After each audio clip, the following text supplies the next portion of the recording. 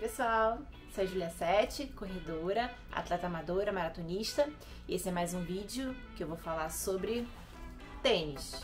E não qualquer tênis, super tênis, os tênis de placa de carbono, pelo menos os que eu usei.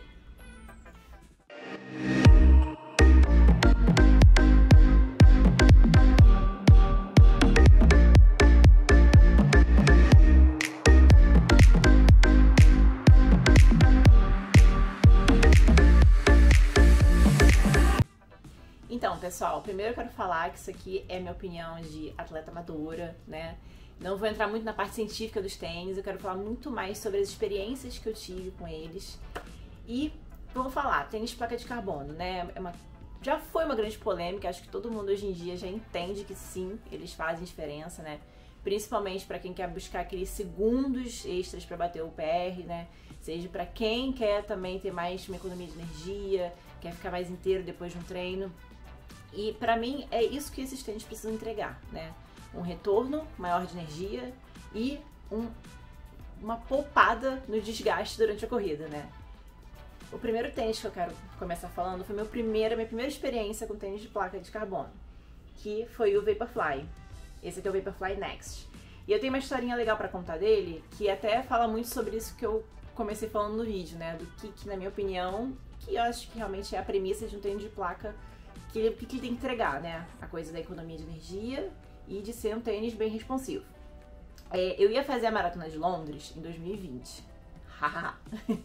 o ano em que tudo parou, o ano em que tudo foi cancelado, né? Inclusive as provas de corrida. E eu queria muito bater meu tempo nessa prova. Eu ia com o objetivo de fazer em 3 horas e 25, eu tava preparadíssima para isso e tinha comprado esse Vaporfly para conseguir fazer esse tempo. Porém, né, sabemos que não deu pra, pra rolar. É, então, eu guardei ele. Eu cheguei a usar até é, no meu aniversário, que eu corri 34 quilômetros né, naquele ano. Foi 35, 35, 35 anos naquele ano. Corri com ele e fiquei guardando, né, pra quando tivesse uma outra oportunidade para usar. Porque sim, esse tênis é caro. Ele é a Ferrari dos tênis. Ele não é à toa, né? Ele foi desenvolvido por os maiores engenheiros do mundo e especialistas em tênis os maiores corredores do mundo ajudaram a montar esse tênis. O Kipchoge ajudou a construir esse tênis. Então, sim, ele é um tênis incrível. Ele é o super tênis dos super tênis. É, esse é o Next, ele tem 5% a mais de entrega de energia do que o anterior e de que todos os outros tênis de modelo né, de placa de carbono. E como eu tenho experiência com outros dois, eu posso dizer que sim, dos três que eu vou falar aqui, ele com certeza é o que eu mais sinto a coisa da impulsão para frente, né, da, da responsabilidade, da economia de energia. Ele, com certeza, disparado, é o melhor. O que não quer dizer que os outros dois não sejam incríveis também.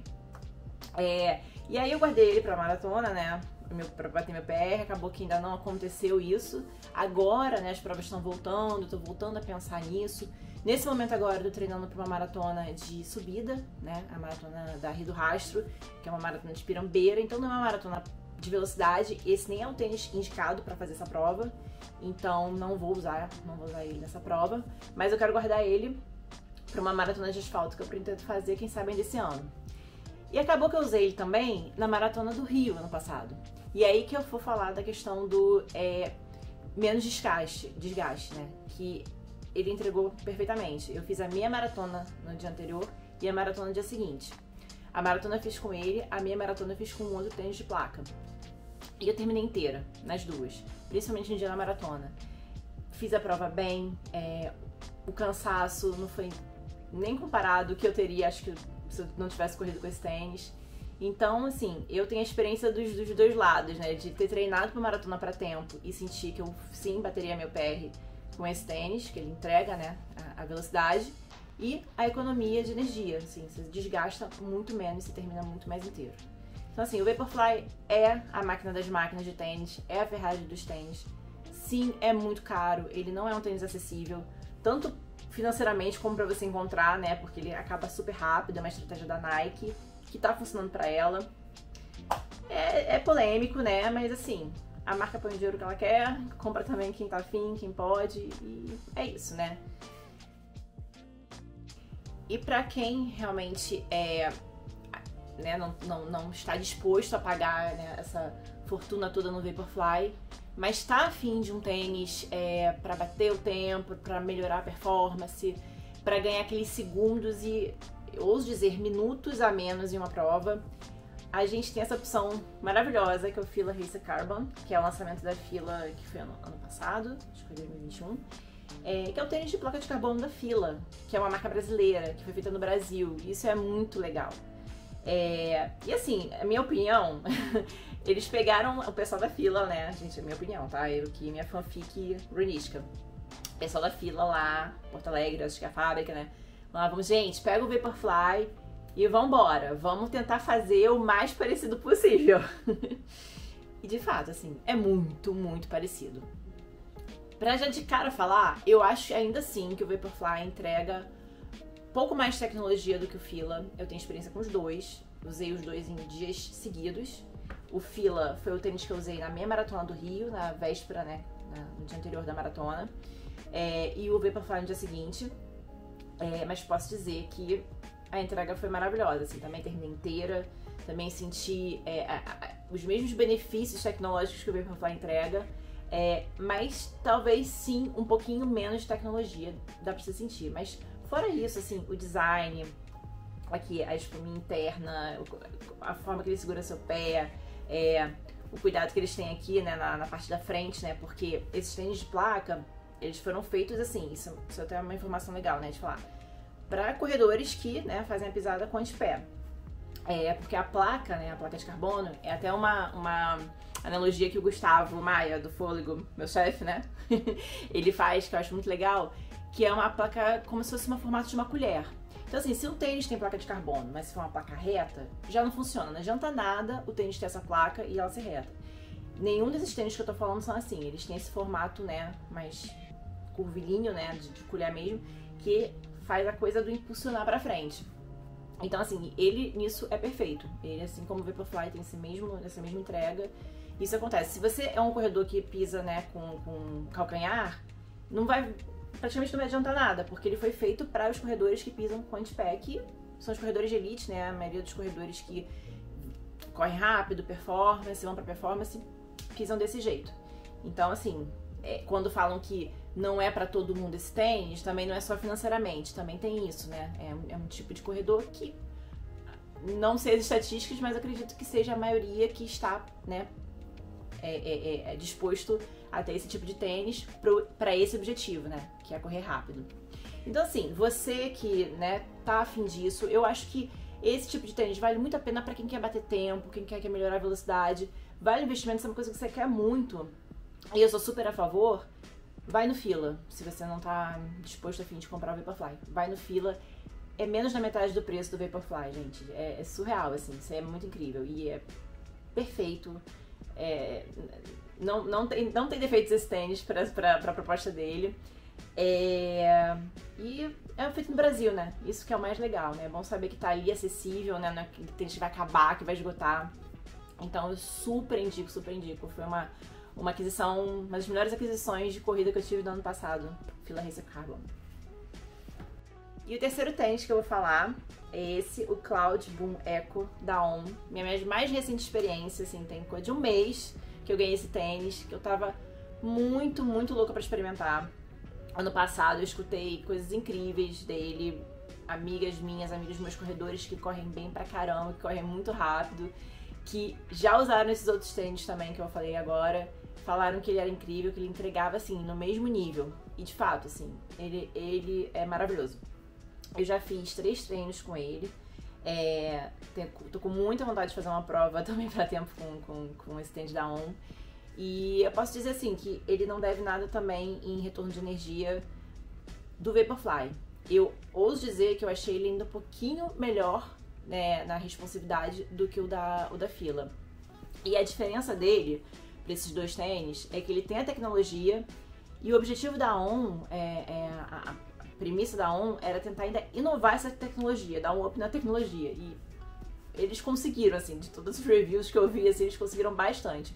Ele não só tem o formato de colher, mas ele é até mais curvilíneo, esse tênis. E eu sinto muito na passada dele, assim, uma impulsão, muito. E eu ainda acho ele mais confortável do que os outros dois. É, eu achei o espaço dele, assim, meu pé fica como se ele tivesse. É muito gostosinho, é bem mais lisinho, assim, sabe? Ele fica bem mais à vontade. É, ele tem mais espaço, sabe? Eu acho que para quem não curte muito a sensação da placa do Vaporfly, né? Acho que fica uma sensação um pouco mais alta, porque tanto Vaporfly quanto Fila são tênis, para quem não tá acostumado quando coloca, estranha muito no começo, tá? É, eu estranhei muito, mas eu sempre falo para as pessoas, calma, como a maioria dos tênis, né? Calma, porque você vai acostumar. E acostuma. Quando se acostuma, super flui.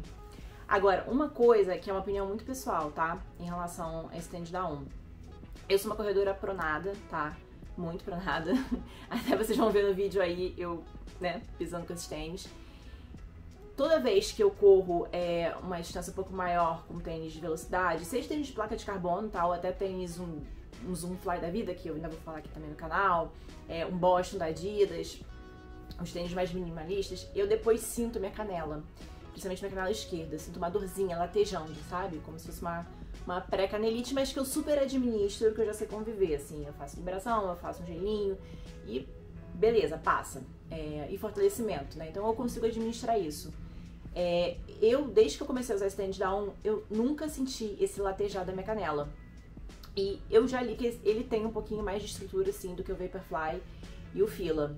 É, inclusive, o Vaporfly, um ponto negativo, se é que você pode falar que ele tem algum, é que falta um pouquinho mais de segurança, né, dessa estrutura para esses corredores tipo eu que dão essas pisadas para dentro. O Vaporfly não entrega muito isso, tá? Então, assim, é um tênis também que eu não posso abusar muito. Se eu ficar correndo muito com ele, não, não usar para treinos e as provas específicas, eu vou sentir meu calcanhar e corro o risco ali de começar a fazer minha inflamaçãozinha. Com ontem agora eu não senti isso, tá? Eu já fiz treino bem longo, né? Acho que eu cheguei a fazer quase 20k com ele. Fiz tiro, assim, forte de um quilômetro. Fiz cinco tiros de um quilômetro forte com ele. E nenhum desses treinos eu senti esse latejar da minha canela que eu costumo sentir. Mas assim, isso é minha opinião, minha experiência, tá? Não quer dizer que você também que tem uma dor na canela com tênis 1 não vai sentir. Mas pra mim deu muito certo. Isso eu gostei muito. Então, para mim, assim, é, nesse momento eu tô curtindo mais fazer é, esses treinos de velocidade. Se eu tivesse uma maratona amanhã para tempo, uma meia maratona para tempo amanhã, com certeza eu iria no tênis da ON. É, e ele é muito bonito, gente, ele é muito bonito. O cadastro dele eu achei muito legal, ele foi feito de um jeito é, que fica mais difícil de desamarrar, e de fato isso é verdade. É um tênis lindo, eu acho que dos três, inclusive, é o mais bonito de todos. E, e acho que uma coisa ruim só é que ele só tem essa cor, né? Então, pra quem não gosta de tênis branco, né? Quem se incomoda de estar sujo, aí pode ser que seja um problema, mas não por isso, né? Esse tênis tá por 1.499, é tênis de placa, vindo de fora da Suíça. É o preço, não tem jeito. Mas, que eu falo, quem tá querendo investir numa Ferrari, fazer uma puta prova, um puta treino, tem opção no mercado. Então, pessoal, esses foram os meus três tênis de placa, minhas três experiências com tênis de placa. É, ótimas experiências. Tem outros dois modelos também no mercado que eu queria muito experimentar. O da ASICS Match Speed, que falam que é sensacional, vários recordes com ele, meus amigos também que correm amam. Tem o da Adidas também, eu quero muito experimentar um dia, mas, né, vamos lá, coisa do orçamento, coisa do tempo, né? é, se eu experimentar um dia, eu falo aqui, conto um pouquinho também. É isso. É, me diga se vocês gostaram, se inscrevam no canal, é muito importante. Eu quero continuar trazendo muito conteúdo legal aqui, mas eu preciso do apoio de vocês para isso, motivação. Comenta aqui, diz se vocês gostaram.